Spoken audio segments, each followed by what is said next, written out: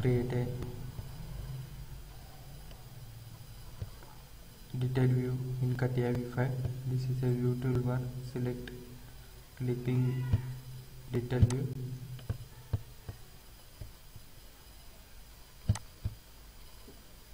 This is a detail view.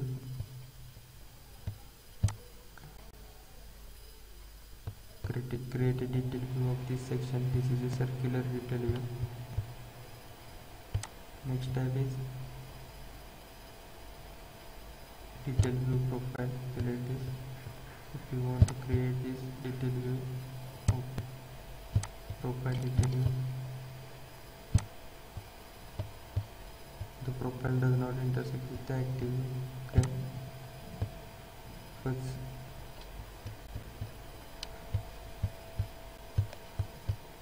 that's time. First select this profile.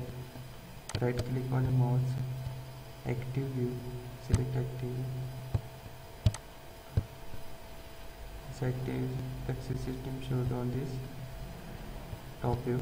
That's time. Create this. Detail view profile on this. Top view